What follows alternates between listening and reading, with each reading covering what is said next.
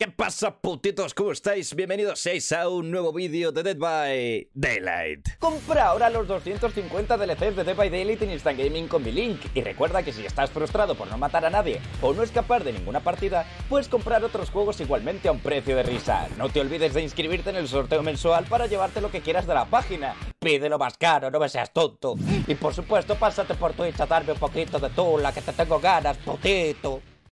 Espero que estéis de putísima madre y en este caso vamos a hacer un vídeo referencia a un comentario que me llamó muchísimo la atención de un vídeo que subí, ¿vale? El futuro esperado en Dead by Daylight, el vídeo el cual os recomiendo muchísimo de ver, en el que hablamos pues de lo que vendría siendo lo correcto, ¿no? Para nuestro videojuego, para el futuro de este, para exprimirlo correctamente, para que nos saquen dinero porque es una empresa y yo lo entiendo, ¿sabes? Que al final nos tienen que sacar pasta de cualquier sitio.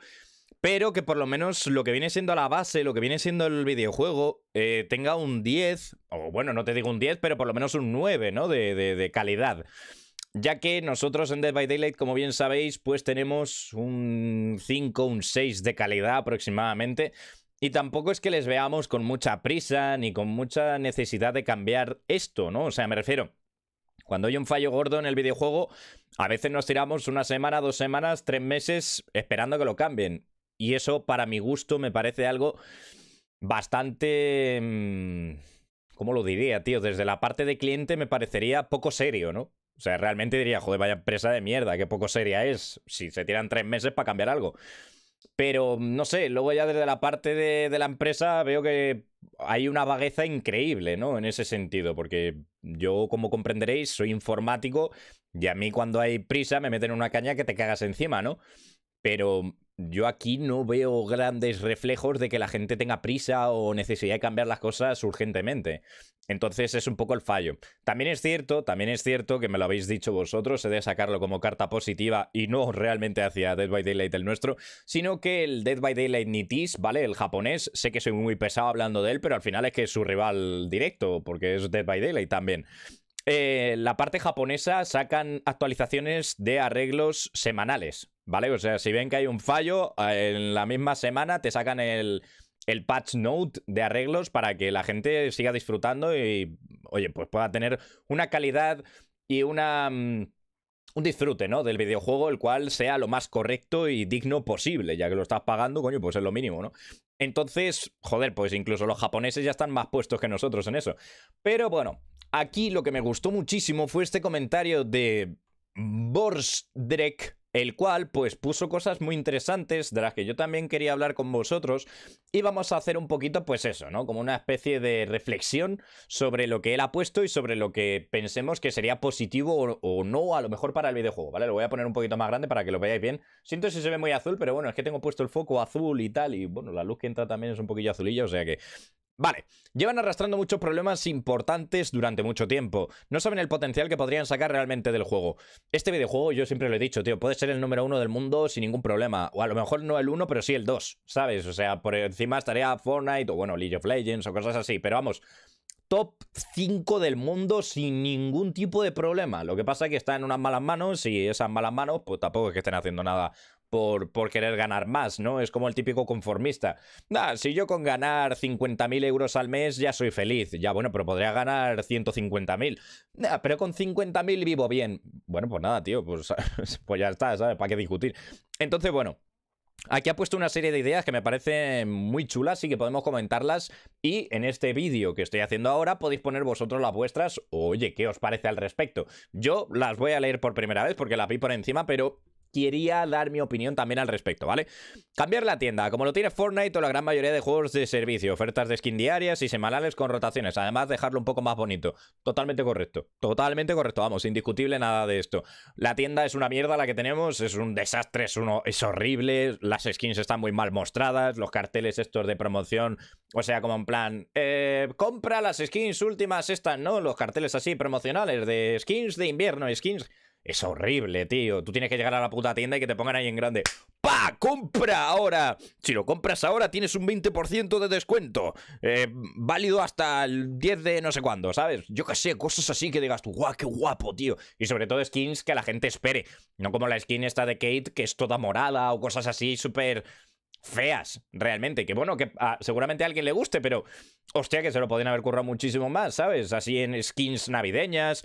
No sé por qué cojones han metido las skins estas ahora. En plan, modo Navidad, pero no tienen tampoco mucho de Navidad. La única que tiene, de hecho, es la de. Mm, ¿Cómo se llama? Yui Kimura, ¿no? Que es así un poquito más de reno y tal, pero vamos, que podrían haber hecho Mamá Noel, podrían haber hecho, vamos, 200.000 eh, cosas perfectas para encajar en la Navidad. Alguien disfrazado de yo qué sé, tío, de, tableta de esta, ¿no? El jengibre este de, Navidad, ¿no? El que tiene el palito, otro que tenga un disfraz de no sé qué, al igual que Dwight con el regalo navideño del año pasado, creo que era del año pasado. Eso estaba guapísimo, tío, y no ha habido nada de eso. Super cutres, la verdad, super cutres. Son muy rancios. Últimamente las skins de DVD son bastante rancias y pobres. Es la, definición perfecta. Entonces, eh, sí, la tienda tiene que tener eh, un... O sea, el departamento que se encargue de hacer las skins hay que meterle muchísima más caña. Y el departamento que se encargue de hacer la visualización de la tienda, que trabajen mucho más, tío, que esa mierda lleva ahí ni, sé cuándo. Yo creo que eso siempre ha estado así, ¿no? La tienda de DVD. O sea, yo creo que pocas veces las han cambiado. O la han cambiado. Juraría que siempre ha sido igual, pero vamos, muy cutre. Tendrían que darle una actualización y una limpieza de cara y que el usuario pueda verlo todo mucho más fácil y sobre todo que los conjuntos estos que son Em, unidos, ¿vale? O sea, pieza de cabeza con torso, con piernas, eh, que se vayan olvidando de hacer esa mierda, tío. La gente lo que más disfruta es combinar las skins. Por ejemplo, la skin de Dwight, ¿no? De papel higiénico. Tío, a ver, yo entiendo que está chulo, pero tú puedes comprar la cabeza y luego ponerle el cuerpo de regalo, cosas así, ¿sabes?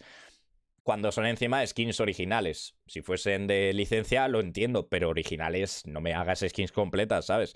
Pero bueno. Separar las perks de personajes. No solo que al sacar DLCs solo saquen a los personajes, sino que incluso eliminen perks que literalmente no se usan. O hacer reworks como el parche grande que hicieron hace unos meses y realizar cambios cada tomo, para ir variando el meta. Esto lo hacen todos los juegos de servicio. Me parece muy buena idea, yo siempre lo he dicho que lo de separar las perks de los personajes tiene que ser ya, porque si no, dentro de dos años va a ser demasiado tarde. De hecho, ya es tarde a, día de hoy, pero lo tienen que hacer ya, tío, porque los DLCs lo que tendrían que sacar es simplemente el killer y el survey, punto final.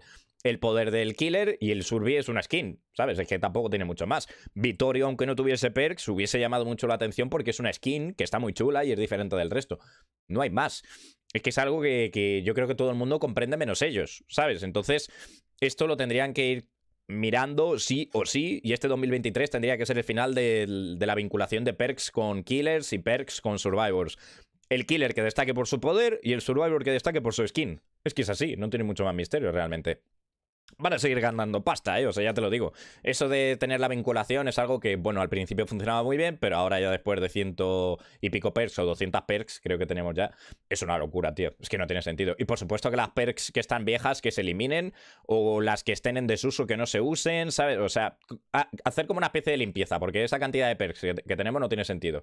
Aparte de que luego siempre terminan metiendo cualquier gilipollez en el nuevo DLC para que mm, eh, no se pisen unas con otras y mira, al final es que se hacen la picha un lío. Realmente. Tener tantas perks y meter a un killer con perks y un survey con perks hace que se, que, se, que se vuelvan locos, que no trabajen correctamente y al final todo ese tiempo que pueden invertir en hacer mucho mejor al killer em, lo pierden pensando en qué pasará, ¿no? Cuando realmente el qué pasará se lo decimos luego nosotros cuando salen las cosas en la PTB o en el eh, producto final, ¿no? Pero no sé, eh, considero que las perks sí, hay que desvincularlas ya de los personajes.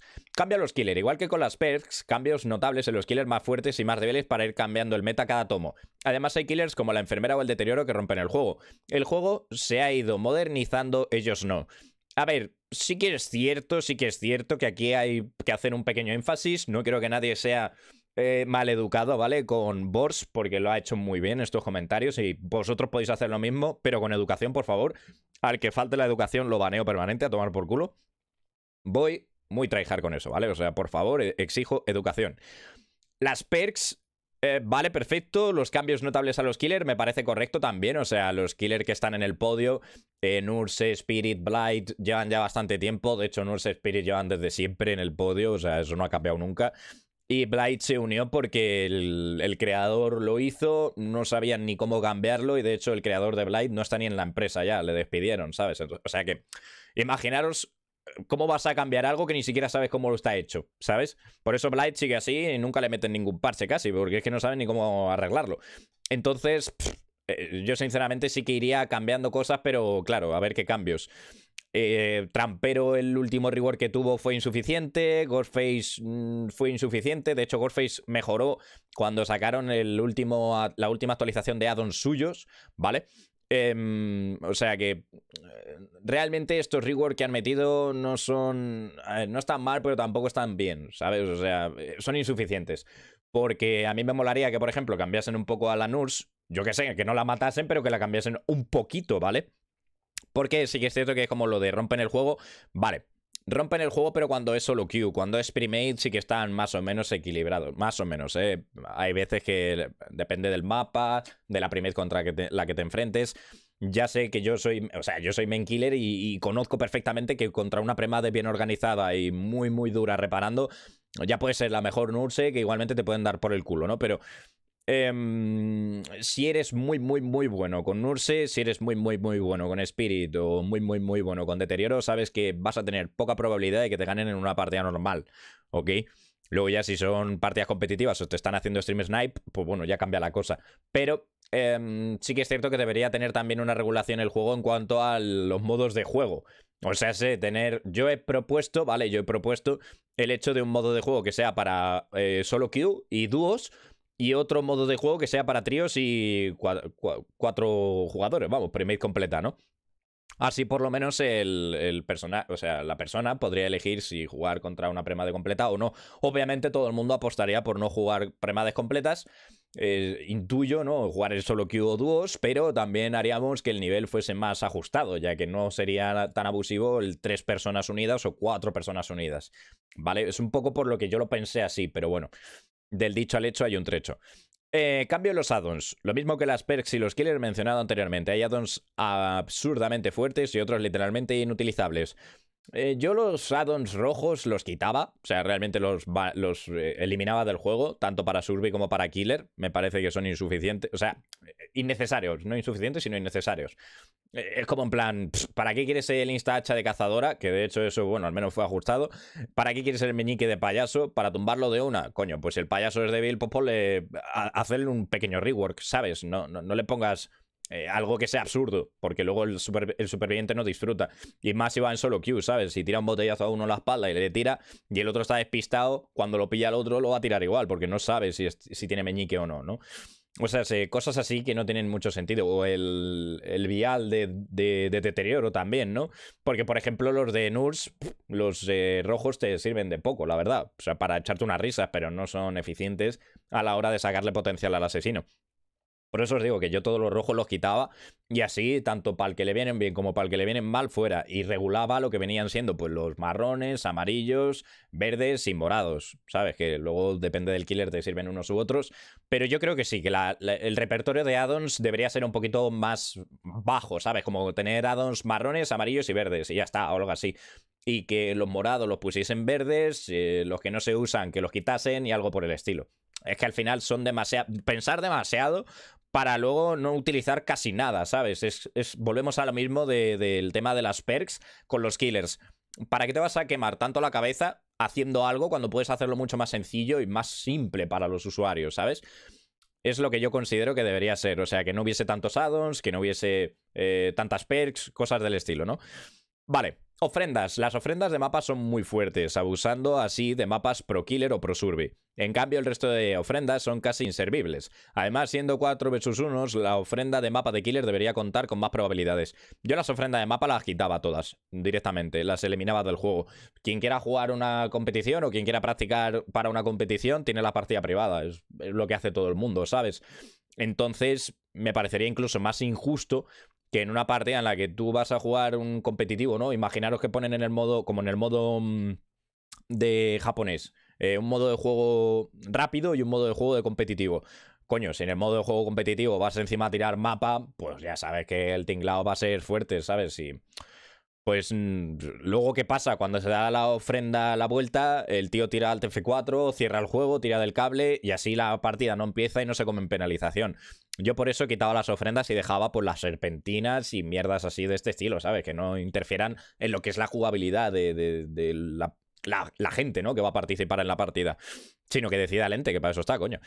Eh, progreso de cuenta con recompensas y mejor sistema de misiones. Quitar las diarias estas pochas, totalmente de acuerdo, y hacer un progreso de nivel de cuenta, con recompensas cada X niveles y una tabla de misiones que no te obliguen a jugar un personaje, como hace la grieta, con recompensas de eh, experiencia para ese progreso de cuenta ya mencionado.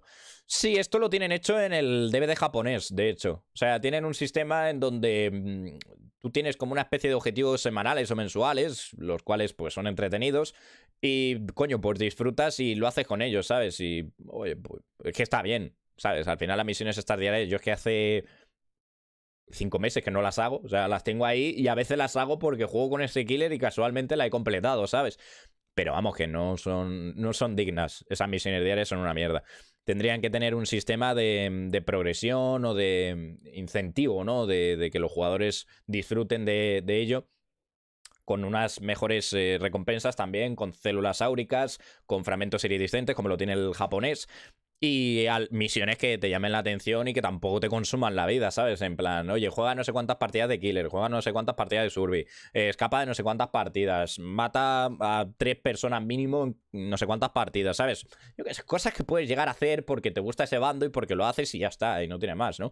O sino una lista de misiones como las típicas que tenemos nuevas en los tomos de elegir bando. En plan, si quieres hacer esta misión la puedes hacer o de killer haciendo esto o de survey haciendo esto otro, ¿sabes?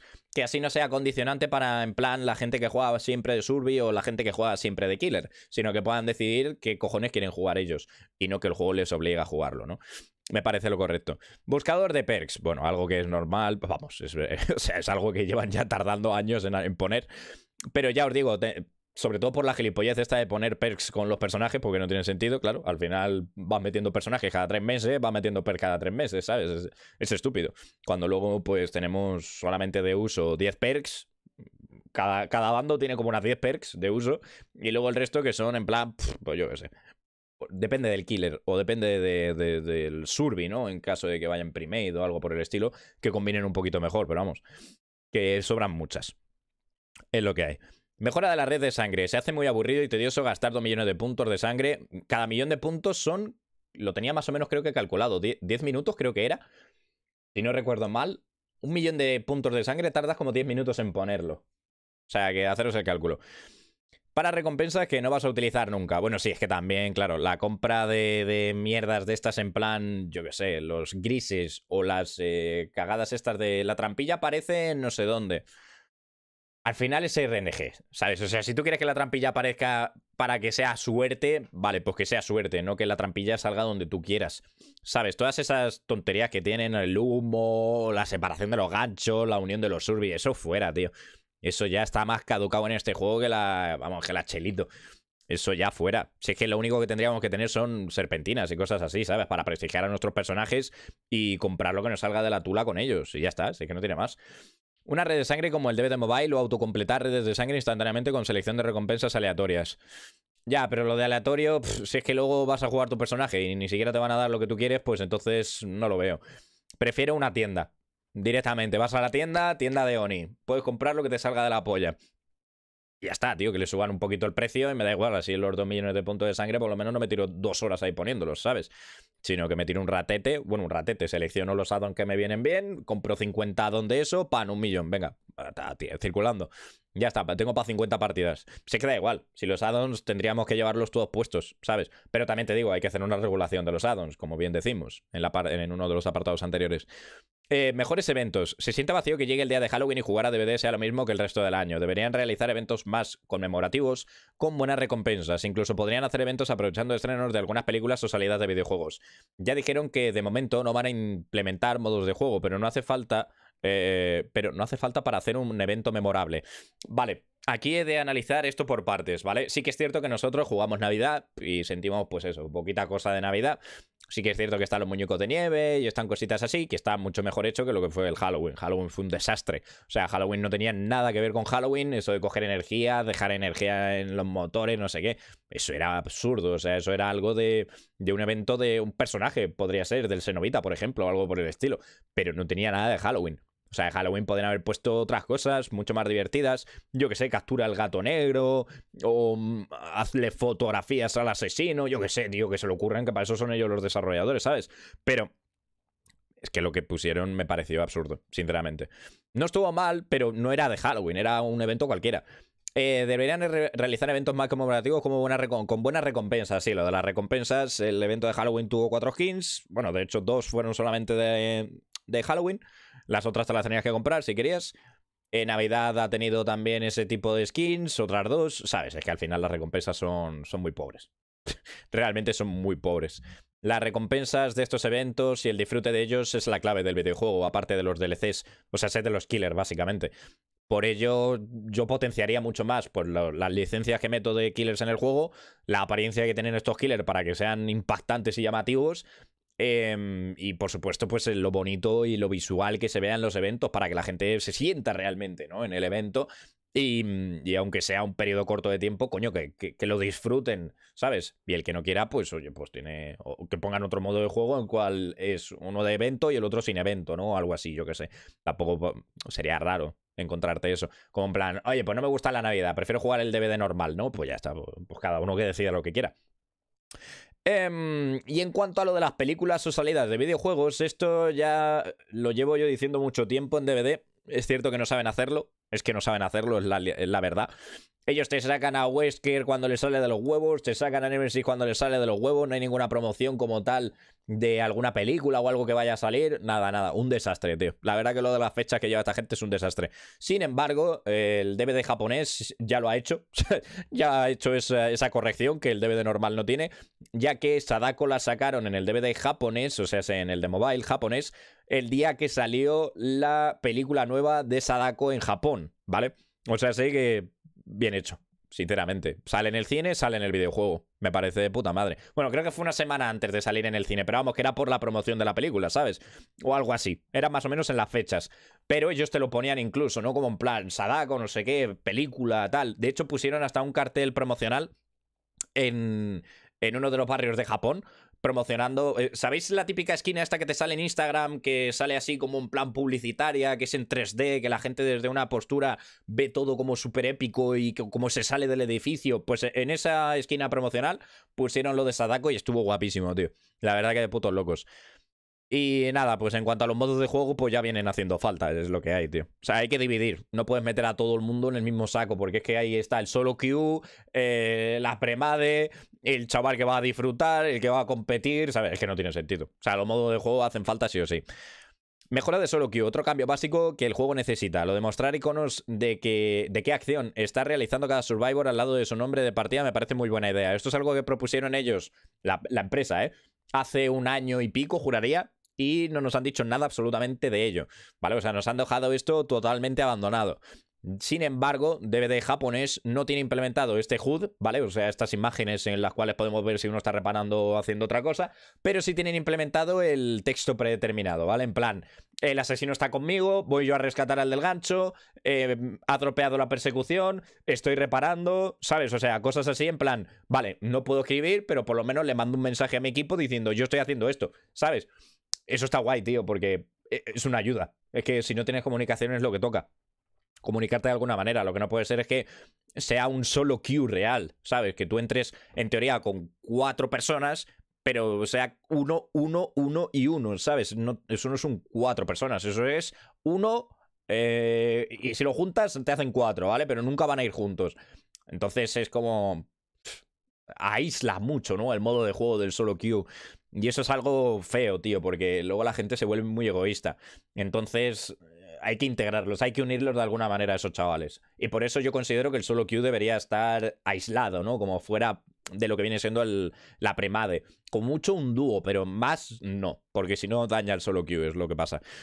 Eh, cambio de volumen de Survivors. Hay personajes que son injugables debido a la gran cantidad de sonido que hacen al estar heridos o simplemente correr. Ya dijeron una vez que están en ello, pero deberían cambiarlo lo antes posible. Esto lo mencionaron antes de que saliese Wesker. Eh, que iba a ser algo en lo que se iban a enfocar en arreglar de los supervivientes, ¿vale? El sonido de cada uno de ellos. Por ejemplo, tenemos a Jeff Wabil, que tienen un sonido exagerado, y luego tenemos a Ace Visconti y a Ada Wong, los cuales no hacen apenas ruido. Entonces no tiene ningún sentido, porque tú quieres jugar a lo mejor con Jeff porque te mola mucho el rollo de Jeff. Como bien os digo, son skins. Si es que luego las perks te suban los huevos, porque ya ves tú. Pero te pones a Jeff porque te sientes identificado, porque te mola el rollo de Jeff, porque te gusta así en plan bárbaro, ¿no? Y luego, tío, te, te sale una Spirit y es que te escucha por todo el mapa. Es que no tiene sentido. En cuanto a la Spirit, deberían de quitarlo del tema del audio, ¿vale? O sea, un personaje que se base en el sonido me parece horrible, porque si los servidores van desincronizados y de hecho está bugueada la Spirit, eh, tú cuando estás enfrentándote a ella y ella está en el modo espiritual, ni siquiera eres capaz de escuchar dónde cojones está bien, porque va desincronizado el audio con el servidor y tan pronto tú la escuchas a la izquierda y ella está a la derecha y no la has escuchado. Entonces es un killer que, mira, si no sabéis hacerlo bien, por lo menos cambiarle el poder, que haga otra cosa, ¿sabes? Porque es muy frustrante, realmente. Es muy frustrante jugar contra una Spirit y que estés escuchando y poniendo atención, ¿no? Ahí en tu, en tu casco y, y de repente el killer aparezca a tu lado cuando lo estabas escuchando en otro sitio, ¿no? Y es como, bueno, pues vale, tío. ok, perfecto, ¿no? Pero vamos, que mm, sí que es cierto que esto lo han dicho, que lo iban a hacer y no lo han hecho. Y de hecho, lo que más me sorprende es que Ada Wong no hace ruido, que salió después de que avisasen de esto, ¿no? De la regulación del audio. Ada Wong no hace casi ruido. Y luego hicieron un cambio a Vitorio, que salieron unas notas del parche y no cambiaron nada. Seguía haciendo la misma cantidad de ruido, ¿sabes? Y era como... Ok, vale. Otra mentira que nos han contado, ¿no? Vale, matchmaking. Otro elemento básico. Deberían clasificar más a los jugadores. Muchas partidas son una pérdida de tiempo y una mala experiencia, simplemente por la diferencia de nivel. Sé que es algo difícil, pero estoy 100% seguro que se puede mejorar. Me parece que totalmente correcto. Vamos, esto es algo que ellos siempre se, se excusan en... Es que es muy complicado equilibrar un juego asimétrico. Siempre te cuentan la misma frase, tío. Siempre igual es que es muy difícil equilibrar un juego asimétrico. Me lo estás diciendo tú que llevas 7 años ya con el videojuego, cabrón. ¿En serio? ¿Y nosotros en X tiempo somos capaces de darte un montón de ideas y tú no eres capaz de coger ninguna de ellas? Básicamente es porque no hay comunicación desde la empresa hacia los usuarios. ¿Qué pasó en el pasado con Dead by Daylight cuando era un juego humilde, ¿no? Cuando era un juego que quería levantarse. Eh, skin de Otofu, skin de varios creadores de contenido dentro del videojuego. De hecho, si os vais a Dwight, os vais a Meg, os vais a Claudette, podéis encontrar esas camisetas que son de creadores de contenido que algunos de ellos todavía siguen jugando y otros ya se han pirado, ¿sabes? Pero están dentro del juego. ¿Qué pasó a partir de que tuvieron ya cierto nivel y ya les sudado la polla, básicamente, hablando mal y pronto, eh, los creadores de contenido, pues ya dejaron de hacer skins de ellos y ya está, ¿no? Y ahora ya, pues bueno, ya no os hago ni caso y continúo yo por mi camino porque es mucho mejor que el que vosotros me ofrecéis. Y bueno, sí que es cierto que les ha salido muy bien porque la idea del juego es muy buena, pero está en una muy malas manos y es lo que hay. Yo creo que esto es algo que nosotros sabemos y que no hace falta que, que, se lo metamos a nadie con calzador porque lo va a ver con sus propios ojos en cuanto empiece a jugar al videojuego, ¿sabes? Em, entonces, eh, lo de la mala partida es cierto. Em, tendrían que penalizar muchísimo más, pues eso, el tema de las desconexiones, siempre y cuando sean tiradas de cable. o sea, que se analice el juego. Eh, o sea, tú cuando haces un código, ¿vale? Puedes detectar si a la persona se le ha caído la conexión porque ha habido una falta de envío de paquetes de MS, ¿vale? O si ha sido por eso mismo, por escape, abandonar partida o por eh, race kit, ¿no? Como lo llamamos nosotros. Eh, eh, ciertos cambios, porque vamos, una conexión que está bien y que de repente se corte es raro, ¿no? Puede haber habido un apagón, puede haber habido varios, una tirada de cable manual, ¿no? Y dices tú, vale, pero yo a esa persona sí que le metería penalización realmente. ¿Por qué? Porque si no ha sido por él y ha sido por un fallo tal, pero vamos, una penalización al principio, ya te digo, cinco minutos como mucho, no pasa nada, ¿no? Pero si es algo que se repite en el tiempo y a esa persona se le cae muchas veces la conexión, em, en plan race kit, ¿vale? O sea, de enfado, el juego que, entienda y que analice la situación y diga, oye, mira, pues, macho, hasta que no arregles tu conexión no puedo jugar al juego, ¿sabes? ¿Por qué? Porque estás dañando la experiencia de juego del resto de jugadores. Sí que es cierto que por su parte tendrían que saber también identificar cuáles son los craseos del videojuego, porque a mí cuando me salen los craseos, a mí me sale un puto mensaje en plan, oye, ha habido un craseo en el videojuego, infórmanos, no sé qué. Vale, si ha habido un craseo, no me pongas penalización. Y sí me ponen penalización. O sea, no tienen ni desarrollado el código para interpretar que ha sido un eh, un enfado que ha sido una caída de conexión, porque hostia, un tío que lleva a lo mejor 400 de ping, a ese tío se le tiene que caer la conexión en cuestión de segundos, ¿sabes? Pero también es cierto que hay mucha gente que está conectada con VPN, por supuesto tienen que hacer un escaneo de la residencia de cada uno, porque al final una persona que se conecta desde España y cinco minutos después se conecta desde Asia, eso quiere decir que tiene VPN, por lo tanto esa persona baneada durante X tiempo, ¿sabes? O sea, eso es un baneo en cualquier videojuego utilizar VPN, porque al final estás jodiendo la experiencia de juego de los jugadores y te estás aprovechando de una falla digamos, ¿no? Del videojuego, por el tema del lag y todo eso. Entonces, todo eso lo tienen que examinar y arreglar porque es algo muy importante y algo que hace que la gente continúe o se marche, ¿sabes? Si yo voy a estar jugando contra gente, imagínate, ¿no? Desde Killer.